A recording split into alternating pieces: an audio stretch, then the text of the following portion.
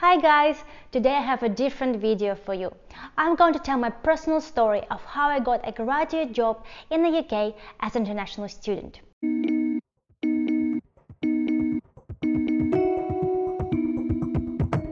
For those who don't know me, I'm Valeria and this is Mind the Grad. On this YouTube channel, I share tips and advice on studying and working in the UK. I work as an independent consultant for international students and help them secure the first jobs in the UK. So make sure you subscribe to my YouTube channel so you never miss a new video from me.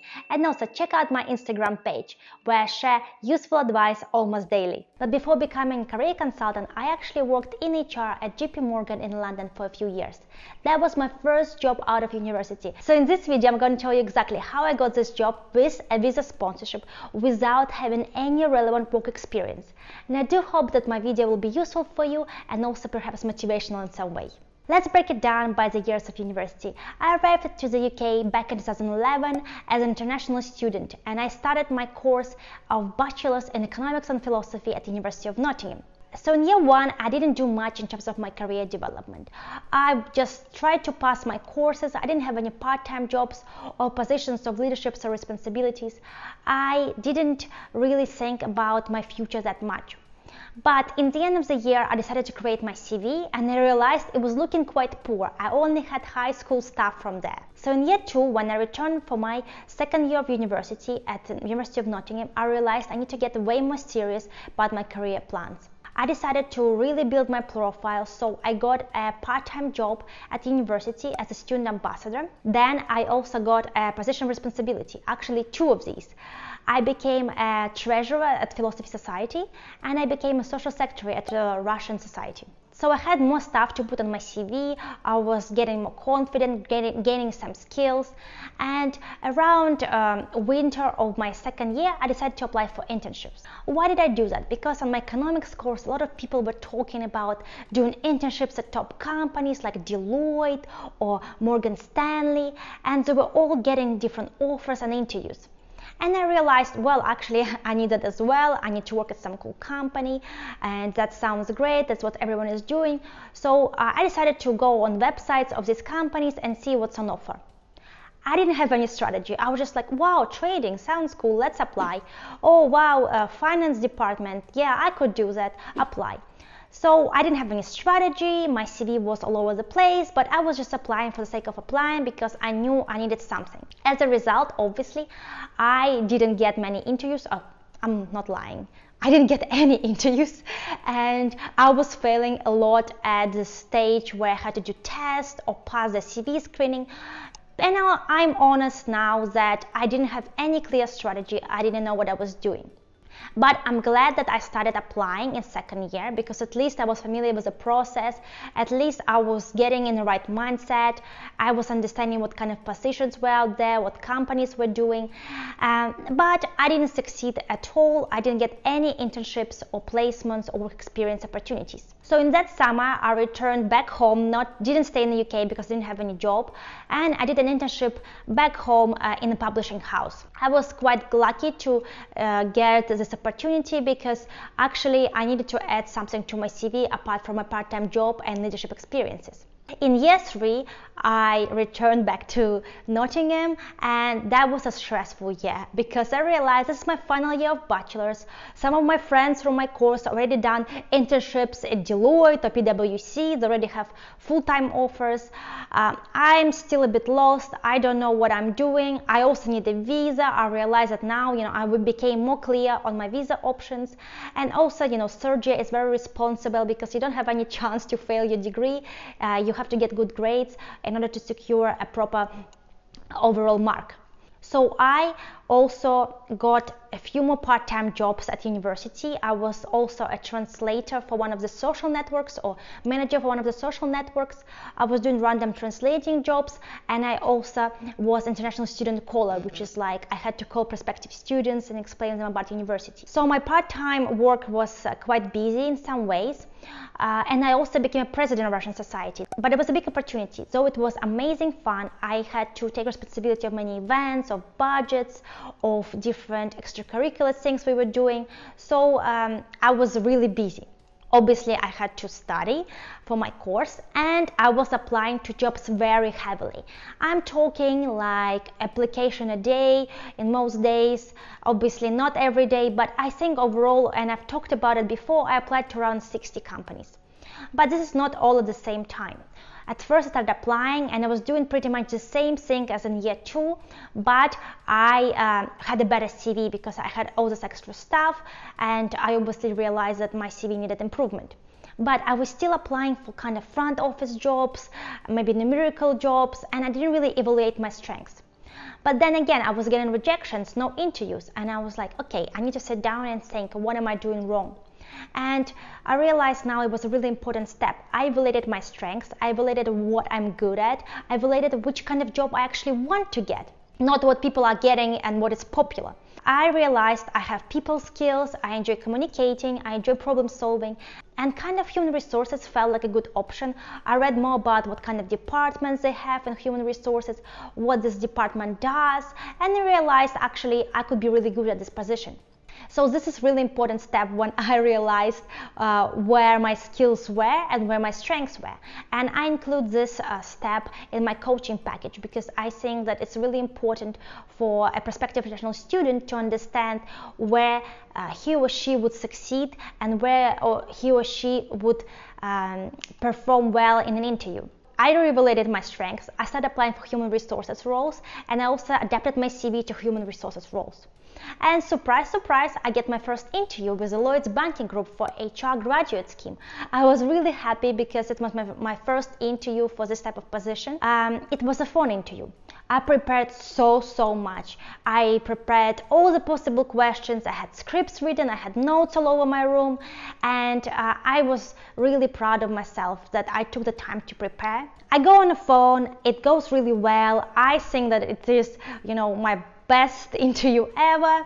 And I answered really hard questions. And then I get an email in about 20 to 30 minutes saying that I'm sorry we're not going to proceed with your application. And I was devastated. I really didn't know where it went wrong. I was so upset. It was only around December January time and I knew I still have a chance. But I spoke to my parents and they said frankly, Valeria, you're not going to get a job. No one wants you here. UK is very competitive. You need a visa. Just return back home. It's not a big deal, uh, and so on, and so on. Obviously, they were worried for me, and they realized it is really hard, but it is not impossible. And I told them that I still want to try. And my parents said, well, actually, uh, we think you should do a master's course. You only study for three years. In my country, you know, bachelor's course is like five years. They think I don't have enough education and they really supported me to do a master's. And I applied to UCL and other universities, even Nottingham, my home university as I call it. And I decided to move to London to pursue a master's at UCL the course I accepted was international public policy and I was super excited, but I still realized I need to continue with my job search. I was applying for a mix of graduate schemes and internships in HR, and around that time, I think in February, I get uh, invited to an interview at JP Morgan. I was so excited, but I had to go to London for assessment center, and uh, it was my first time going into any kind of office in the UK, yet alone an investment bank um, office at Canary Wharf. And I prepared so much. I studied everything I could about the company. I studied everything about uh, HR and how human resources functions work at uh, investment banks. Then I studied possible interview questions and practice with my friends. I um, remembered uh, different facts about the company and the London office um, I tried different outfits to try to choose the best one. You know, I, it was a really big deal for me, and I'm not going to lie that I just got lucky or I, uh, you know, won it by chance. I really prepared a lot, and I still believe prepar- in preparation. And for all my clients, I really think the if they want to succeed, the more they practice and prepare, the better. So I went to London, I had my interview. It was a long, long day with a lot of stages, and um, I did really well in some parts, but in one part, I didn't do that well. And I'll tell you honestly, I had very mixed feelings going home after my interview. Why is that? Well, I did really well in some parts of assessments. I felt very confident. I felt like I really um, had a good connection and I answered all the questions well or all the you know tasks. But I also realized that I have weaknesses. For example I'm quite shy when it comes to group conversations. I am shy to contribute sometimes. I am not that confident at public speaking back then. So um, I knew that it is not a definite yes and I also knew that uh, I loved the company and I loved the people and I loved the process. And that was really sad because I, I really understood that this company has great culture. The professionals I met were all amazing. And I was just really, really hoping for a positive outcome. So, as you know, um, as I spoiled in the beginning of the video, I actually got the offer after a few days. I was super, super excited and obviously I accepted it. But it was just an internship. It was an offer for a summer internship um, that summer, and it didn't mean that I got a permanent job. It didn't mean that you know I'm gonna get a visa sponsorship, but it means that I am one step closer. So in that summer, my final year of university, I've done my exams, I got my results, I had a 2-1.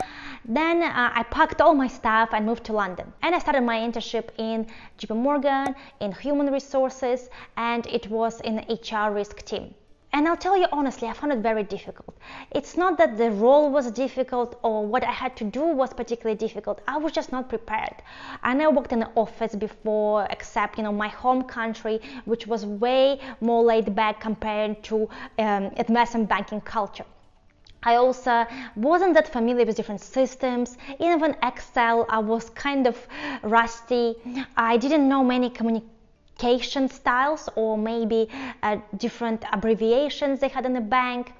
And it was just you know every day was uh, very stressful for me because i didn't know how to behave i didn't know how to dress i didn't know what uh, uh, when to joke when not to joke you know it, maybe i'm just not a confident person but it was a new corporate environment and for me it was stressful and challenging. But I took it day by day. My team was super nice. They were so supportive. They really, really helped me get more confident and improve. And also, there were a lot of events going on outside my role, different talks and um, presentations and it was really a lot going on and it was so well organized and honestly one of the best experiences in my life. I can't believe you know that i still got this opportunity. It was just so exciting. So by the end of my internship by the end of 10 weeks my manager had a talk with me and he said that actually they liked my performance and they liked me. Wow thank you. And they're going to make me an offer for a permanent position after one year. And um, i was so happy because uh, i really enjoyed my 10 weeks I really tried hard and I'm still so grateful for my team that really supported me and decided that I'm worthy of a permanent job. I still had plans to do my master's, but uh, I knew that by the time I finish my master's, I don't have to worry about looking for a job. I will just come back in one year as a full-time employee uh, in HR graduate scheme at JP Morgan. And also, I talked to HR. They said that the visa sponsorship is not a problem. They will sponsor me. And when I was about to finish my master's, I got um, contact from a lawyer, and they've done everything for me. And it was really amazing service. I just got a permanent visa without any problems. Permanent visa, I mean skilled worker visa you know, the rest is history. As you know, I worked there for a few years. I finished my graduate scheme, and by the end of my graduate scheme, I got promoted to an associate level. And um, I just have to say, really, I don't know where I would have been without that opportunity because it was such a great few years of my life because people were so so kind and supportive i had amazing managers throughout the whole time and they really cared about my development they cared about my um, professional growth. They cared about improving my skills and helping me succeed and I really learned a lot from them and from other team members so my overall experience is very very positive what i want to share with you is probably if you want to ask me valeria what does it take to get a job in the uk or what does it take to get a job as an international student that needs a visa I'll tell you one thing it takes hard work and dedication. There is no magic answer to that. You know, I um, still think that you know obviously i got lucky and uh, in some way and um, i was chosen by the people but i did put a lot of effort and hard work into getting there. As you can see, it was a long-term plan. I started thinking about it, you know, from year one arriving in the UK. I started thinking about my profile. How to, uh, can I improve my skills? How can I grow as a professional? I started thinking where I could uh, sell my strengths. I was preparing a lot for interviews. I was applying so so much, and I think that is the reason why I was able to succeed. But obviously, everyone has their own journey. Is just my personal story. And if you have any questions about it, you can let me know in the comments. And I do hope that this kind of gave you a bit of a better understanding of my background and how I got my first uh, permanent job in the UK. I want to invite you personally to a free webinar that I'm hosting. It is a free talk on how to get a job in the UK as an international student nowadays. And I do hope that you'll check it out. You can go to mindthegrad.com slash webinar and register. It is completely free and I will be talking live to you guys and answering your questions as well as sharing my materials. As always, thank you so much for watching and the best of luck from Mind the Grad. Bye!